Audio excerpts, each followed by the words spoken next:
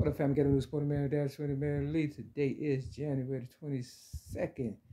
Sinful Sunday in my city, Chicago, twenty twenty three. Today is supposed to be the Chinese New Year, Year of the Rabbit. You know, China people they they always want to upstage Americans and this, that, and the third, or whatever and stuff. But what I say is, you know, Eminem played the rabbit. You understand what I'm saying? They always think ahead of time or whatever and stuff. Take out the enemy and stuff. They overthink themselves and stuff, and then they get caught up into shit, and then they don't know how to get up out of it. And they always need niggas to help them. So let me help them. All right, I got the one and the four and the white ball field. You understand what I'm saying? Also, uh, here we go. This is uh First Kings chapter. I got enemy right there.